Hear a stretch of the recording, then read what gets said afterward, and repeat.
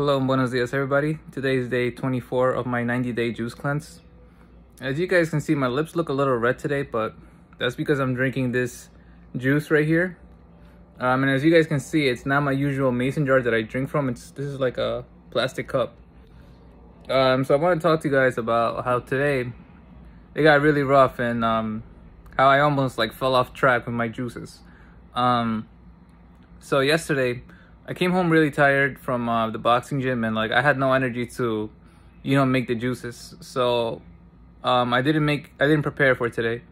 And today I knew that I was gonna go to the office all day.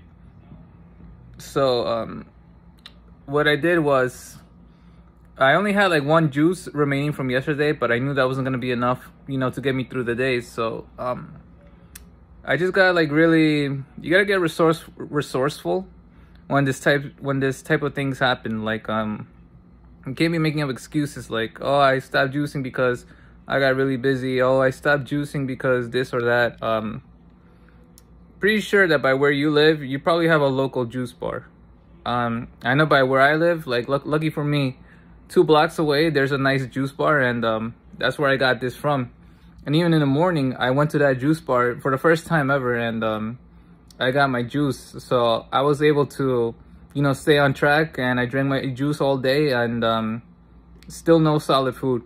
So even by my job, um, all you guys gotta do is do a quick Google search. Like just type in green juice bar near me and something will pop up eventually.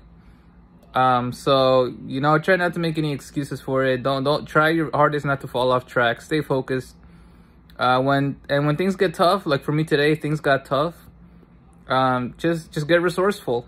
Get resourceful. Um, you don't always have to make the juice. You can, you can just go buy it. Um, try to avoid like you know the supermarket juice that you see on the shelves, because my opinion, those aren't really. They're not like you know like real juice. You know, so stay focused, stay committed, and um, stay resourceful when things get tough, you know, don't start making up excuses. Just start thinking like, how, how can I get my juice? You know, if you feel too tired, then just go, go buy, go buy a juice. Just like this one right here. I went to go buy it. And, um, you know, get the, get the largest size possible. This is like an extra large cup, so.